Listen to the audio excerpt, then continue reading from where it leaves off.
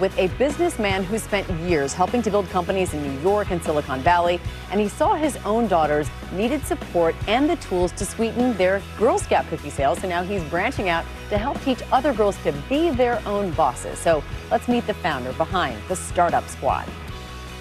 Hi, I'm the creator of Sarah Sews. I'm 11 years old and I own a dog treat business called Tons of Treats. Hi, I'm the 11 year old owner of Rose and Coke Can Winter.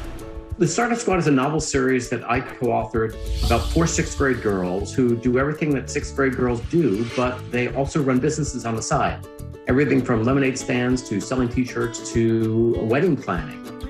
Seven years ago today, I was laying in bed reading books with my girls, and I just got frustrated with all of the less than empowering influences for girls. I had read one too many Pink Princess Fairy Rainbow Unicorn books. And while I gave those books a ton of credit, I just wanted there to be more empowering options for them. And I said, I'm going to create a novel series. The back of each book has a nonfiction section with actual business tips for kids. And we also include an interview with a girl entrepreneur in the back of the book so that girls can realize that just because they're a kid, it doesn't mean that it can't start a big business. Well, I'm really excited There are studies that say that 65% or 70% of the jobs that our kids are going to grow up to fill haven't been invented yet. So the question is, how do you train a kid for a job that doesn't exist yet? Well, you train how to think. And that's the key to the entrepreneurial mindset.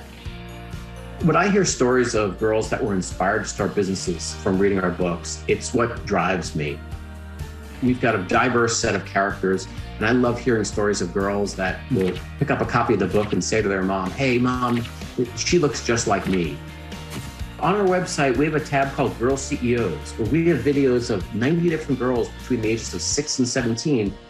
And we're always looking for more girls that we can profile on our site and help spread the word about on social media and everywhere else that we go. I would say don't be afraid to fail. Just go out, take that risk, and start that first business. Literally everything is a learning experience from you know success to failure. We are going to continue to create books for girls. We're also going to try to create other opportunities to get the entrepreneurial mindset and get the brand in front of girls wherever they are. Anything that we can do to help these girlpreneurs become more successful and become examples for other girls to follow in their footsteps. Girls Need Business! Yeah, that's what I call girl power. I love it. and here is the squad. Here they are, the books. Um, but cool, I love those stories. We put in this, if you all notice, we have them in this particular section of the show. And we sit and we stop and we pay attention. It's always something inspirational. So great job to our staff always hunting those down. I love it.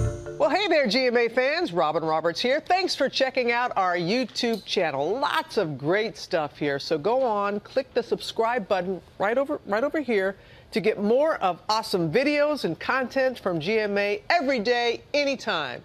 We thank you for watching, and we'll see you in the morning on GMA.